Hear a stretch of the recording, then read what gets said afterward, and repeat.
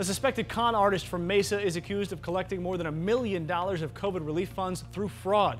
Federal investigators hope his case is a warning to other business owners out there trying to game the system. Tonight, Team 12's Joe Dana explains how this Mesa man planned to spend those funds.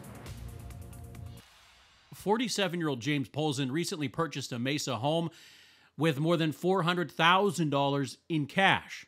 Authorities say he was a brazen con artist who, before buying this property, portrayed himself as a tax preparer for several years. Zillow photos from inside the home show it was an impressive purchase.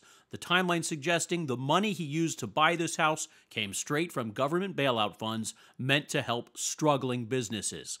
State records show James Polzin had three full time employees at his business, yet claimed he had more than a dozen employees. He's also accused of making bogus claims of revenue. What did those claims get him? A lot. Polzin is accused of collecting more than a million dollars in PPP loans, including one loan worth $740,000. He faces three counts of fraud related to major disaster benefits and three counts of wire fraud. Court records cite a report by CNN showing he did not actually have a CPA license. What's not clear is if Polzin had moved into this impressive Parkside Gilbert home that he purchased, or if he was using it as an investment property but it appears he was on his way to enjoying the fruits of his alleged crimes before getting caught. Homeland Security tells us Polzin remains behind bars.